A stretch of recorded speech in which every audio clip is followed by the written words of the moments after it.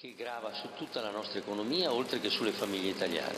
Il costo è normalmente del 30-40%, in certi casi addirittura il 50% rispetto al costo che le famiglie e le aziende francesi pagano per la decisione francese di aver realizzato, mi sembra, 60 centrali nucleari nella più totale sicurezza dei cittadini francesi.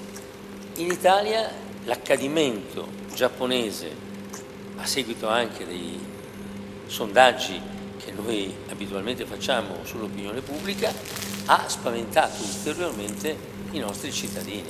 Se fossimo andati oggi a quel referendum, il nucleare in Italia non sarebbe stato possibile per molti anni a venire. Il governo quindi responsabilmente ha ritenuto di introdurre questa moratoria per far sì che magari dopo un anno, dopo due anni, si possa ritornare all'energia nucleare. Come?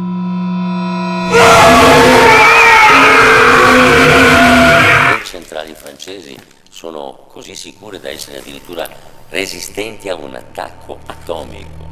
E noi con la Francia abbiamo stipulato molti contratti, la nostra Enel con l'azienda francese, contratti che non vengono abrogati